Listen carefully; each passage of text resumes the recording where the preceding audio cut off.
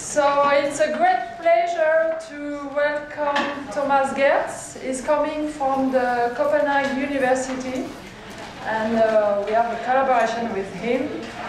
So he's going to talk about evaluation of dynamic risk prediction models. Thank you very much for inviting me again to my favorite city in France. um, I, I'm, my, my talk is similar to the first talk today. However, I'm a mathematician. Even though uh, I will not present any formulas, it will still be different in the in the style of presentation. That's no, uh, that's that's not surprising. Um, I'm not talking about the details, but still uh, remember the details. And if you have questions, you can either interrupt me or ask them uh, after after the talk. So uh, I will introduce statistical risk prediction models, and I will illustrate the problem of, uh, of when this becomes dynamic with a, with a data set and a research project that I have on leukemia research. And then I will um, demonstrate the dynamics uh, in risk prediction models and how to evaluate dynamic risk prediction models. That's the, the last part of the talk.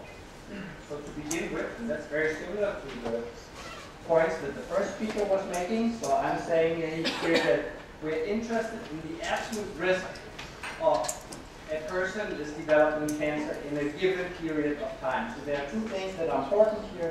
One is the prediction should be stated in terms of an absolute risk, and there should be a well-defined period of time in which, uh, which that um, is studied. And uh, more generally, we can say the absolute risk of an event is the probability that an individual with given risk factors and a given age will, uh, will have the event within the defined period of time. Now, um, we call the absolute risk or the prediction um, calibrated, or even the model calibrated, if, um, if out of 100 people that all receive a predicted risk probability of X percent, roughly uh, X will have the event. So that's, that's the definition of calibration, um, the best that I could, find. That's not a mathematical definition. I'm, I'm not really aware of uh, very good mathematical definitions. And the, the, problem is that you need to condition on the exact value of X here. So if, if X is uh, 0.539, then this would be a condition on this, uh, and that's the problem with calibration. However, I will use the term in the following, that's why I use it here. And then I also say that once more, conditional risk such as hazards or hazard ratios do not directly correspond to prediction. Now, um, what, is, what is dynamic about um, risk? And uh, dynamic means uh, something is changing or is able to change and to adapt. And for the patient, that's clear. It's the it's unfortunately the disease that can uh, that can change over time or does change over time. Sometimes it's fortunate if the treatment, which also may change over time, uh, works. Then the disease is going away, may come back again, and uh, and uh, sometimes the disease is just getting worse. And uh, all this uh, depends, of course, on the environment, which is also time dependent, and, and things can change in the environment. For the model or for the person who, who's aiming or trying to make a risk prediction model, it is mostly uh, you need to you need to focus on the time point where you make the prediction. So that's one uh, fixed uh, fixed thing that you have to uh, choose, and the other is the prediction horizon. So how long uh, in time do you want to make your predictions? And what, what else is changing? Of course, the event status is changing for the subjects, and then also measurements of biomarkers and um, treatment and other things like questionnaire results can be updated dynamically in time. now, what's the purpose of, of, the, of the statistical model here? We, we, try to, um, we try to use information of patients that we have seen before, where we have seen both the risk factors and the outcome. We try to summarize this information in order to give uh, the new person, the new patient, some advice on, on his case or her case. And, and in this, in this, uh, uh, this text here is copied and pasted from the National Cancer Institute, and that's about screening. And uh, a similar thing can be done if you, if you replace um, developing of cancer with, the, with, let's say, the probability of relapse for a cancer patient. And when we uh, make this, uh, this exchange uh, between the event uh, developing cancer and developing relapse, then we are into personalized medicine. And indeed, statistical models can both give advice to patient and clinicians, but also they can be the basis of uh, a design of clinical trials where you investigate whether or not a new uh, personalized treatment is, is going to work. Now, um, how do we make these models? So the, the, the, definition of a statistical model here is it's a, it's a specification of the relation of the of the risk markers and measurements that we have on, on the subject or patient and, uh, and the absolute risk. So in some, some, some way, these, uh, this relation has to be specified and, uh, and in order to do this in the best possible way, we usually start by screening the factors that are of potential interest for making predictions. And when I write, uh, write um, screen here in, uh, in quotes, then I mean there are many different ways of doing this and there are no, no not really um, accepted um, procedures that always work. So this is something that the, the person who, who is the subject matter person who knows about the research field needs to do in close collaboration with a statistician. So neither a backward elimination will do this correctly, nor just personalized uh, uh, uh, decisions of the, of, the, of the research person alone will be su sufficient. and similar for the next step, when the model is fitted to the training data, then again, there are a lot of strategies. How do you fit the model? So some say, okay, I will always use a residual plots. So, but, but what do you do after you have looked at the residual plot? Do you decide your model does not fit very well? Then you introduce a new uh, relation between the risk factors and the absolute risk, and so on. So there are a lot of things going on that we often are not able to write down in terms of an algorithm, but we should. Because when we aim, when we aim to say something about this is a good model, then we should take into account all the uncertainties in the process of making the model as well. now finally, the, mo the, model is validated in, in terms of either internal validation, where we just use the same data set, or we use it uh, in, in, uh, with a cross-validation scheme, and uh, or externally when we have some independent data set and we evaluate whether or not the model is, is predicting very well.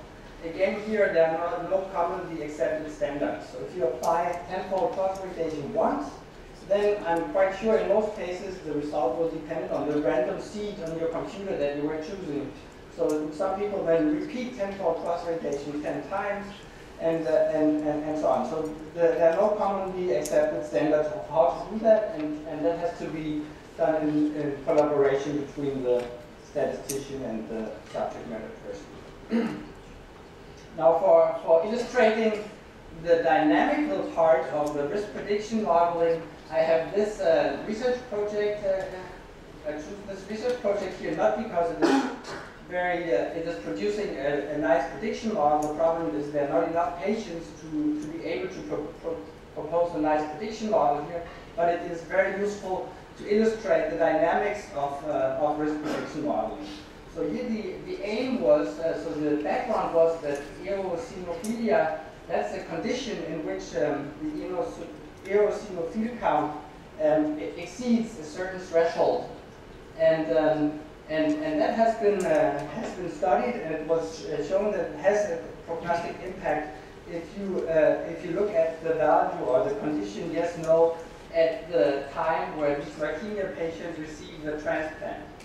So, um, so at that time point, uh, uh, there's evidence from other studies that, that, that this um, measurement has some prognostic value.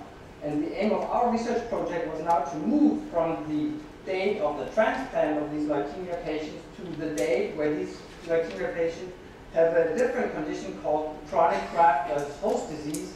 That's when the body does not accept the, the transplant, then you can can uh, enter this uh, this uh, this state, chronic graft-versus-host disease, and that is of course a different day where this was diagnosed for the patient. However, we will analyze all the patients' um, follow-up from the day where this uh, where this uh, condition um, materialized. And it is clear that when we move from the day of the transplant to the day of the chronic graft-versus-host disease, then the patients that never in the follow-up period that we are studying develop graft-versus-host disease, they do not enter into our study.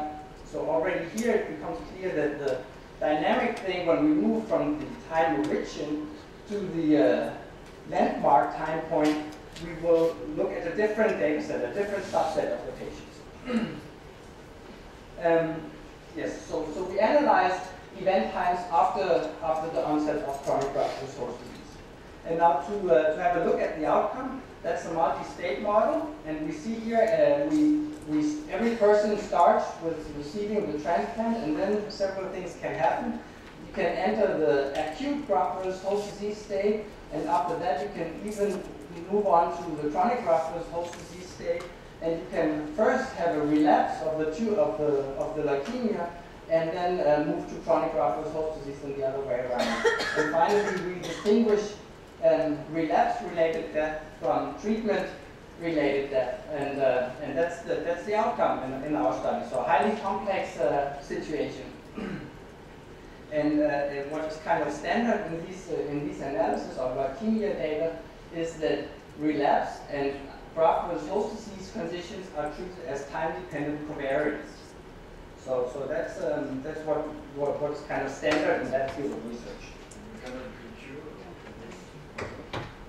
You cannot be cured in this model. Of course, you can you can of course stay in this uh, state for the for the follow-up period. Stay in uh, You can also stay in this uh, state, but the thing is, once you enter this state, there will be new treatment uh, given to you. I'm not sure if, if, if, if, they can define when a patient is cured. So if the doctor is able to look at the patient and say, you are cured, then uh, then uh, we could have a cure state in here. If that's not possible, then I don't know, then uh, we don't. Good, so, so we, have a, we have a couple of baseline characteristics. By baseline, I mean here the date of the transplant, so these, these informations are from the transplant date. And, um, and um, since we do not have a lot of patients, only 142 if we if we have them all, but then some of them have missing values and some of the in some of the predictors and so on. That's why we constructed some kind of disease score from all these variables, and that will be used to adjust uh, our regression analysis in, in later pictures. But, so these are the these are the time-independent uh, characteristics of the patient, and there are some more that I do not have uh, space to list here. But more interesting are the time-dependent covariates. And here we have uh, here we have the start of the data set where we have here the patient number, UTN, and then we have the date where the measurement was taken, and we see the EO, eosinophil count is given here, and then there are some other measures. IgG is another inflammation uh, marker in the blood, and, and, some, and, and two other blood, blood test markers that are also continuously in time almost uh, measured for, for all of these patients. So there's a lot of information in, uh, in this project. Finally, what else is uh, time dependent? The, the conditioning re re regimes and the steroid treatment is changing all the time. You will see that in a little bit. And, uh, and of course, as I said that before, the disease status can change. So when a person has a relapse, then the disease status has changed. now we look here at, uh, at one sample patient, and this is an illustration of, of the full data that we have for this patient. Uh, we start here by the day, the green vertical bar illustrates the day where the transplant was, uh, was done. And you see the black dots, you can follow them here over time. This is the, this is the um, eosinophil count, and, uh, and when the count exceeds the magic threshold 0.5, uh, then the condition eosinophilia is, is satisfied. And we see also that this uh, light green area here is a, is a period of non-steroid immunosuppressive treatment, whereas the, the, um, the light red uh, area is a, is a period of steroid treatment. And that was initiated by the onset of the graft versus host disease uh, in this patient. So here you see a patient, and we can follow him or her either from the day of the transplant or from the landmark time point which is given by the red vertical bar. Hmm. You can also see, since there's no purple line, that this patient did not have acute graft versus host disease. but finally here, the black line indicates that the, the, the follow-up stopped with the, with the event relapse. Now we move to the next person, and this is more, more to illustrate uh, what happens when we do not know the value of the, uh, of the longitudinal marker for all dates, then we imputed imputed a value. We just did that by a linear, by a linear uh, connection between the previous and the next uh, measurement of this marker. And when there was too much space between in time, too much space in, in time between the, the previous and the next marker, then we just did not use this patient for the analysis. So this was just to illustrate that there are missing values and we of course have to deal with it. Was a quite pragmatic approach. Now, now this is a more uh, complicated case and you see here, this person is actually positive. So this person has the condition, and the reason is at the day of the chronic graft-versus-host disease onset, the count was above the 0.5 uh, threshold. So here the condition is satisfied, and you see also that this, this patient receives treatment in, in, a different way than the previous two, and there's overlap. So when the green, light green, the light red area overlap, then we get uh, an ugly color here and that indicates that both treatments are given at the same time. And, and the, the, a big problem of this study is that the count, the longitudinal marker reacts to the treatment. So there's feedback. So maybe the high count indicates a new treatment, and then due to this treatment, the count goes down. So there's feedback in the data, and, and that is extremely difficult to deal with in a statistical model, particularly in, in the risk prediction model. But I have a final, uh, final patient here, and that's more, mostly to show that, so this person is maybe something we would call cured, because this person survived for a quite long period after five years, and there's no treatment in the end of, of this, of his follow up or her follow-up, and so it's possible to survive all this, um, this procedure. okay, so more uh, back to the concept. So the the, the dynamics in risk prediction model starts by saying, here's my time origin. So time origin is the start of follow-up. In this case, it was the, the day of the transplant. But we can move to the landmark time, which could be the onset of chronic graft-versus-host disease. And that, by definition, the landmark time is another day where the clinician or patient are interested in the prediction of the, of the future. And that is in order to uh, address uh, uh, certain personal things, but also in order to decide for, for the next treatment. And, uh, and we can, we, there are more examples than just the day of diagnosis, the day of treatment. You can also say the date where a new screening result or new blood test was performed is a candidate landmark time point where we want to update our prediction.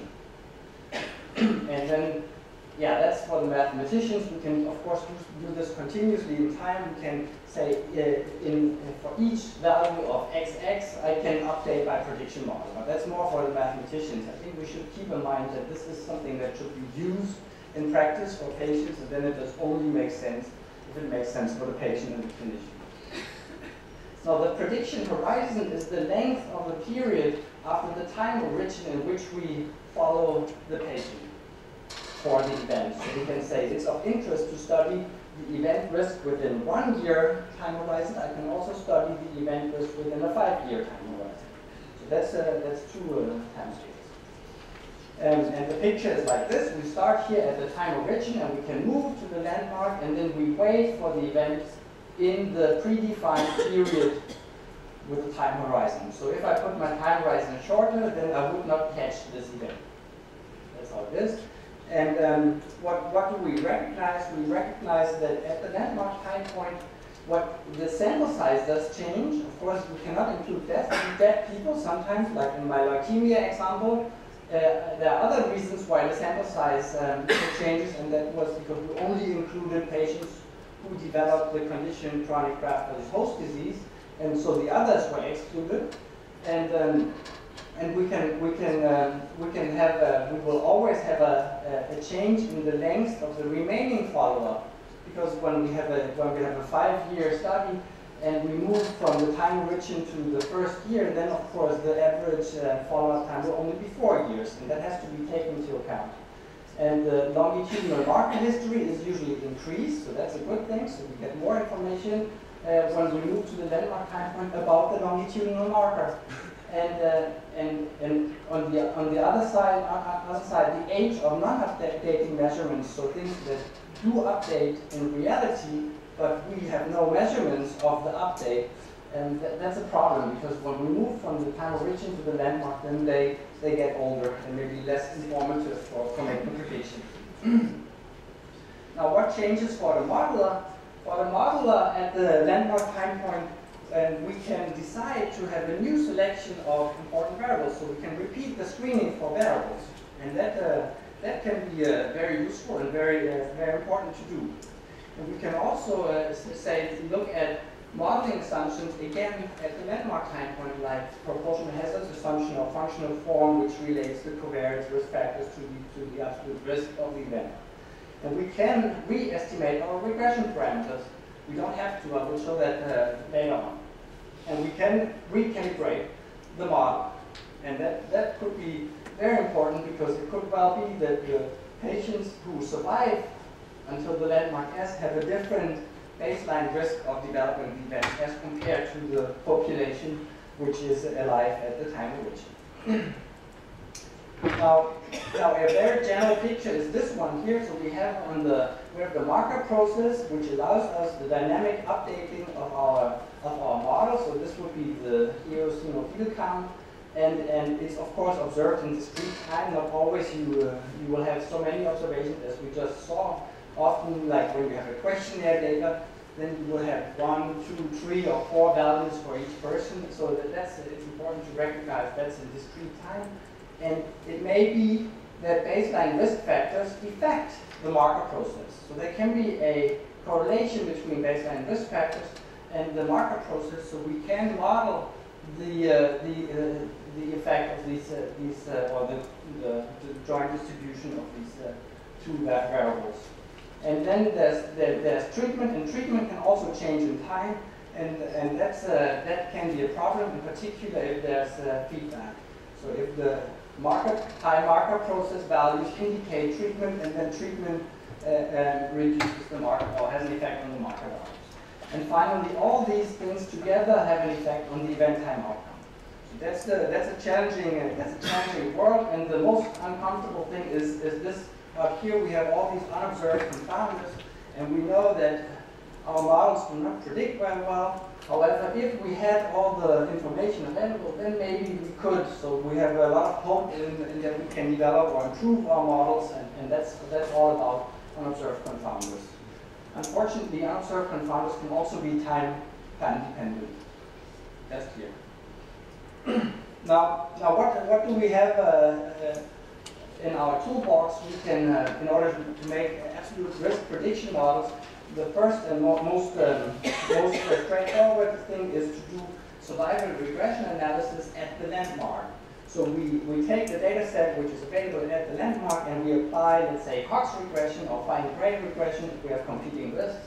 And then we translate uh, regression coefficients into, into a, a predicted absolute risk of the event. And if we have a longitudinal marker, we can include of course, all the history of the longitudinal marker up to the landmark time point. And I call this two, two-stage models. I can then say, okay, I have uh, 112 uh, values for this patient. This is a bit much. I can't include 112 variables, and I didn't uh, know how to include them. So I can first summarize the history of the longitudinal marker process for each patient, giving me a summary measure or this patient, let's say the, the running mean or running median, um, or something like the variability of the marker values in the history up to the landmark, and use that as a new uh, predictor for my, for my landmark Cox or Fine-Gray regression model. Now, there's also this uh, group, uh, class of joint models, and Bordeaux is, uh, is famous for developing joint models.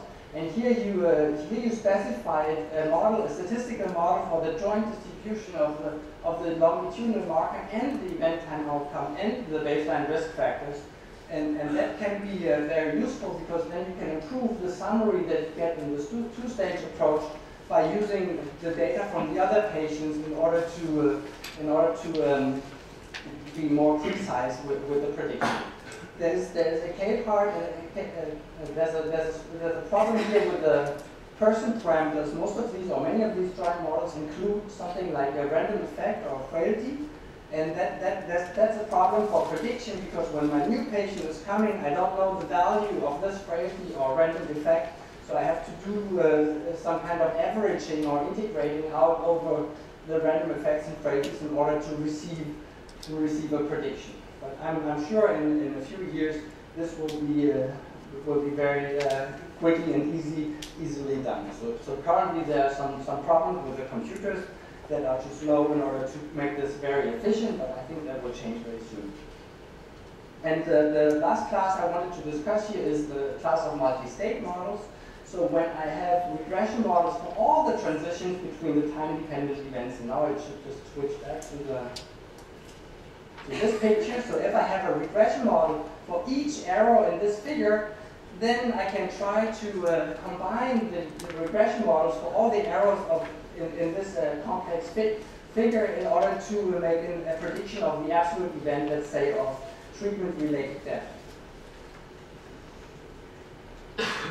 And that's, that's what, what we call multi-state model here. And, uh, and when I have uh, fitted all these regression models that requires uh, some, some amount of data, obviously, but if I have done that, then I can uh, use what happened to the training patients, the patients in the training data, in order to uh, in order to assess the likelihood of the most possible of, of the most likely uh, pathway of the new patient, and by by doing that, and improve the predictions for the new patients.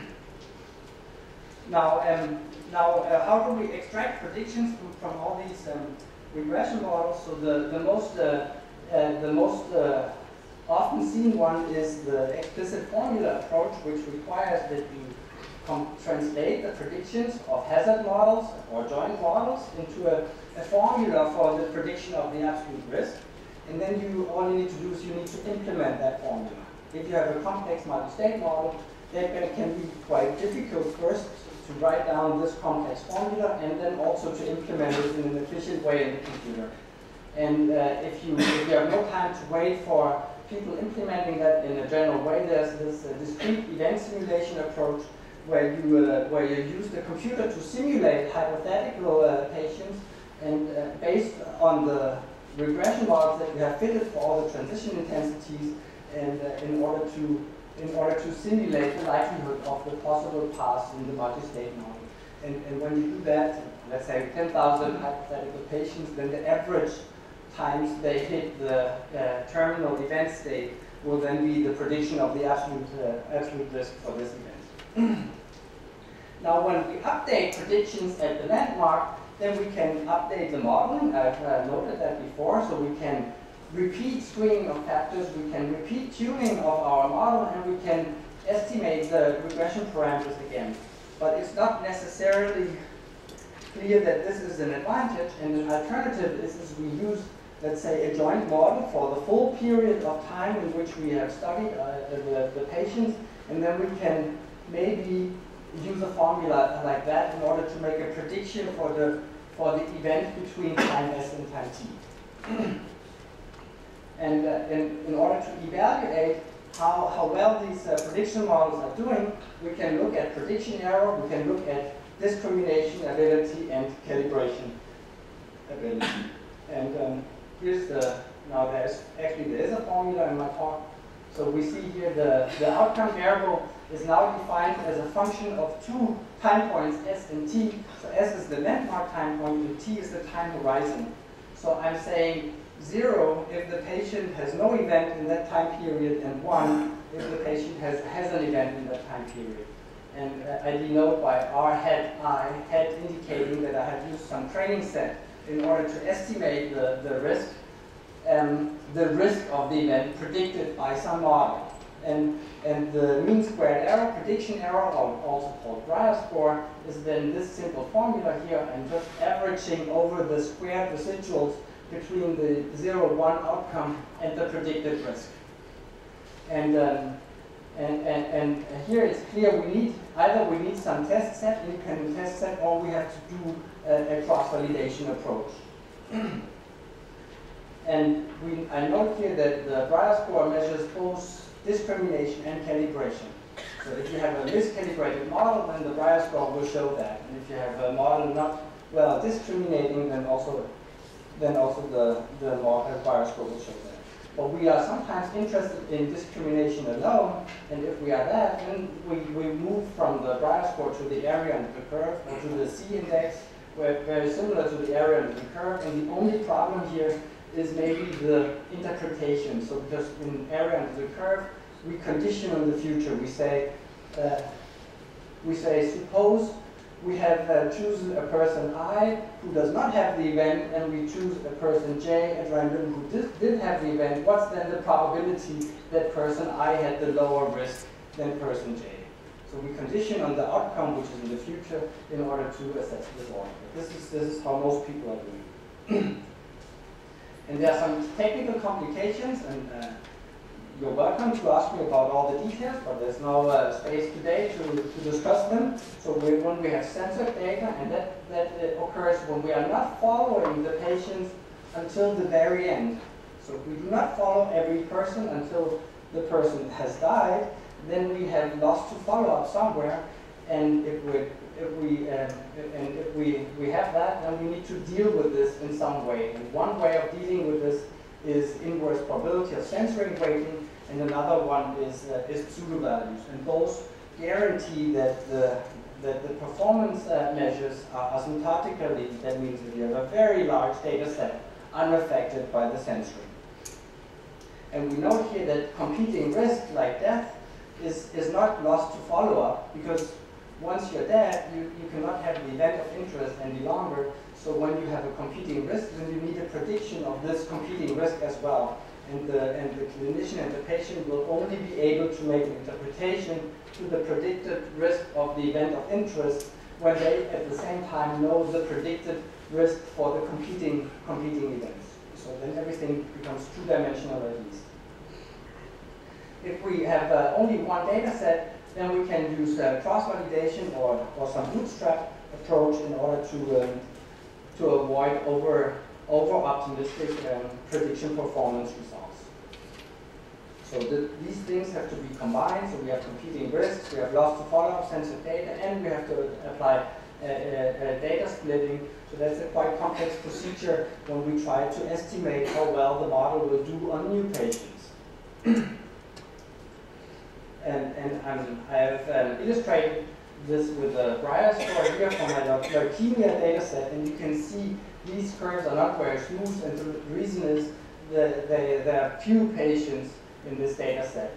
And I have, uh, I have problems um, fitting, fit, fitting models uh, with many variables, so, so then so there's not, not really much I can do. So here I have uh, fitted two different uh, two-stage models where, where both are adjusted for the risk disease score, which we define based on the other risk factors in, in two or three categories. And, uh, and, and then here I compare the red line where I use the maximum eosinophil count in the history, in the 200-day history of each patient before the chronic uh, graft versus host disease onset, and have another variable in my model, which is the variability of this uh, um, eosinophil count. And I compare that to, to adding the value at the transplant day and adding the value at the chronic graft versus host disease day. So two different summaries of the patient history of this, uh, of this uh, longitudinal marker, and we see there seems to be a slight advantage of, of using the value at the transplant day and the value at the onset day of chronic graft versus host disease. And that's true for both events. So on the left-hand side, I have a prediction of treatment-related mortality, and on the right-hand side, I have relapse-related mortality. But you can see the null model, which ignores, ignores all the covariates, and is, is doing as good almost. So there's really not, not enough information in this data set. And, and this is actually uh, uh, leukemia patients are a case where gender and age do not play a role. So, so in this case, we really do not have nice uh, predictive, predictive models, not yet. And uh, just, so, so, okay, so, so here I start at the landmark time and I follow, and I, I move the, the time horizon. So here the, the interpretation here at 600 days is, this is the predictive performance of the models for predicting the event, which is treatment-related mortality in the time frame between 0 and 600 days. Okay? And then the next picture um, is, is different. Here I fix the time horizon to be 12 months. So here we have a 12 months time horizon fixed and we move the landmark. So here we have landmark results for 0, 3, 6, and 12 based on a different data set. And here we compare models like the multi-state model approach and the uh, Cox regression and Fine Gray for, for, for landmarking. And we see no difference. And actually these curves here is again the, now it's the cross-validated Brier score. We see no difference and we also see no difference in the model with no covariates. So again, the leukemia data set where we have not, no information or almost no information at all. If we look at the prediction for death, then at least these models seem to be a little bit better than the model which ignores the covariates. But it's not really um, motivating a lot of follow-up um, discussions.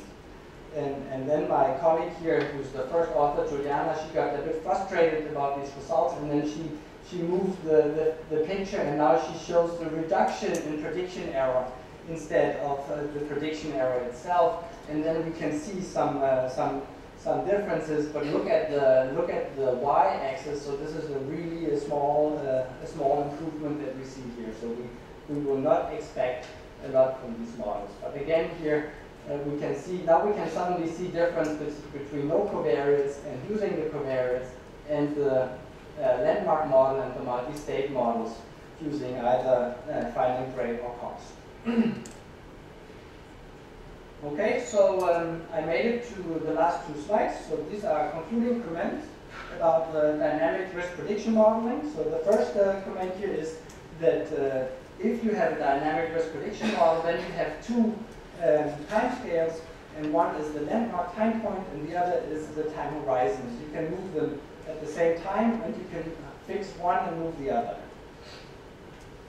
Um, otherwise, nothing really changes. So when you have learned about how to evaluate a risk prediction model and survival analysis with censored data, then you can apply all these techniques that you have learned to the dynamic setting. You have to be careful because you need to uh, pay attention to that you are not using information after the landmark for making predictions uh, in the future, that's clear. But otherwise, technically, from a statistical viewpoint, not a lot of things do change. we have to be aware of that if, if our longitudinal measurement is affected by treatment, then we probably need a very complex statistical model in order to catch the, the joint distribution of, uh, of the treatment and the, and the longitudinal measurement. And that is in particular difficult in non-randomized studies. So if you have a non-randomized study, it's probably uh, not so clear how to interpret the prediction model uh, that you uh, develop. anyway, we can, as usual, because it's the same technique, we use inverse probability weighting or something like that, and we use cross-validation as usual in order to compare different models, modeling strategies.